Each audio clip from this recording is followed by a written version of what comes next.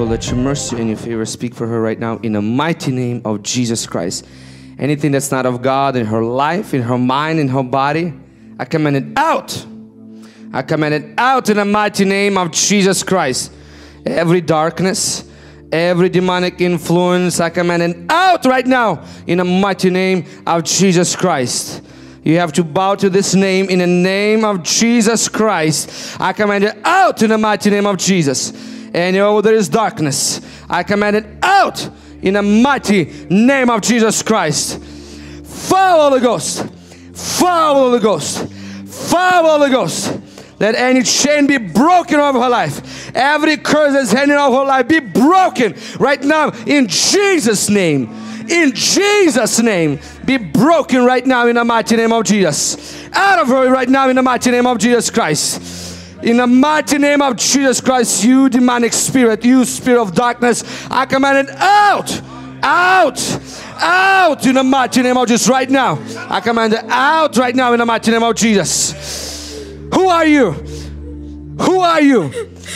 Loose her right now in the mighty name of Jesus Christ. Fire, Holy Ghost. Answer right now in the mighty name of Jesus. Pain, Your pain. suffering. How did you enter her life? Answer right now in the mighty name of Jesus. How did you enter her life? When she was a child, When she was a child. What have you done in her life?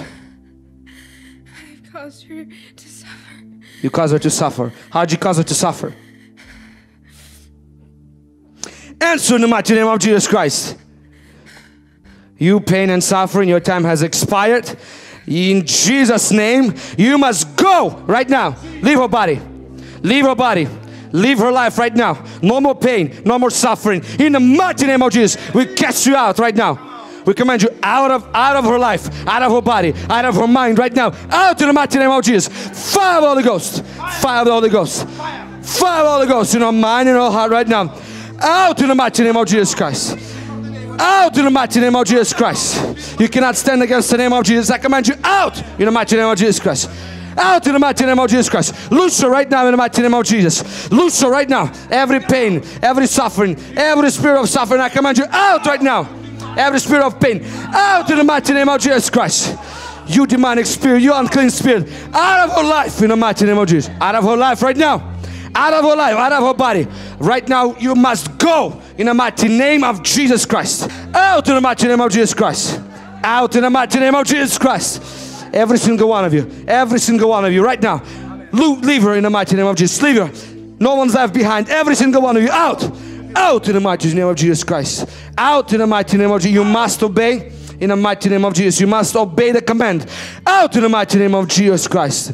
In Jesus' mighty name. No more pain, no more suffering. In the mighty name of Jesus Christ. In the mighty name of Jesus Christ. In the mighty name of Jesus Christ, we declare you free. In the mighty name of Jesus Christ. In Jesus' mighty name. Yeah. Thank you. We say thank you, Jesus. Thank you, Jesus.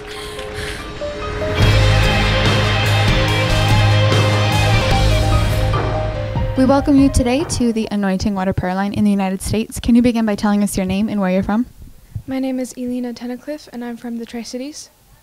And Elena, can you tell us what is the problem that brought you here today to receive prayer with the anointing water? I um, needed deliverance. And what in your life can you say that has made you feel like you needed deliverance? A lot of things, actually, because for one, I was never able to, you know, every time I get money, it always ends up leaving, and I have a lot of pains in my bodies, in my body, in my body.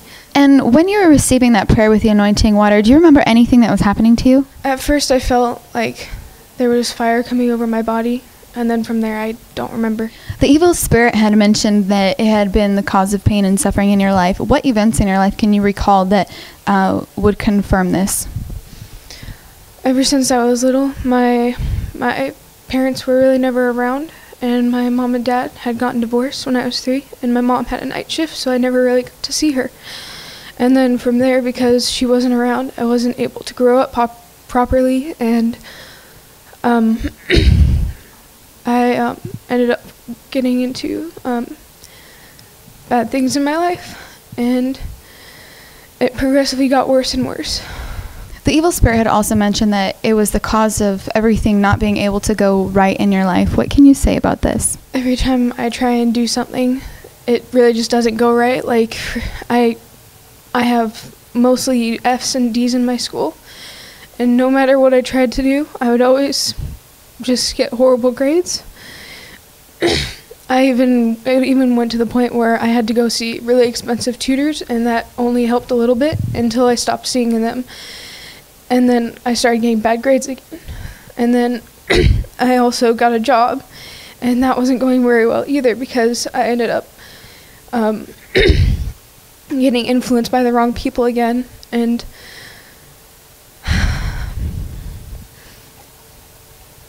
and it just wasn't working out. And so And so now that you have received that prayer with the anointing water, do you believe that Jesus Christ has healed you and delivered you from this problem of pain and suffering? yes, I believe that very much. And now, as you're going to continue to walk out your daily life, what do you believe that Jesus Christ will do for you? I believe that he's going to be able to make me able to focus and do well in school. That I'll be able to find a good job. That I'll be able to succeed in everything I do that is within his will. Amen. Well, we believe that Jesus Christ has fully healed you and delivered you from this evil spirit that had caused pain and suffering. And now we want to encourage you that as you have been delivered by God's word, that you will be ruled by God's word and make his word the standard for your life so that this healing and deliverance will remain permanent in your life in the mighty name of Jesus Christ. Amen. Thank you, Jesus.